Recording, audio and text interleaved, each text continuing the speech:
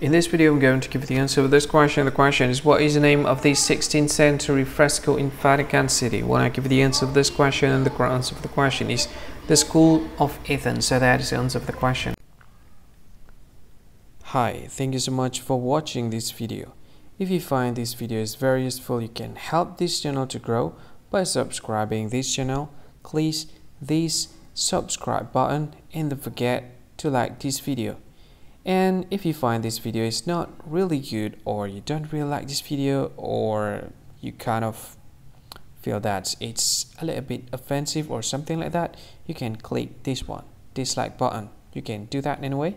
And if you want to share this video with your friend, you can share it by clicking this share button and you can share it to any any social media that you wish that is currently available at this time like Facebook, Twitter, LinkedIn, and many others. Right?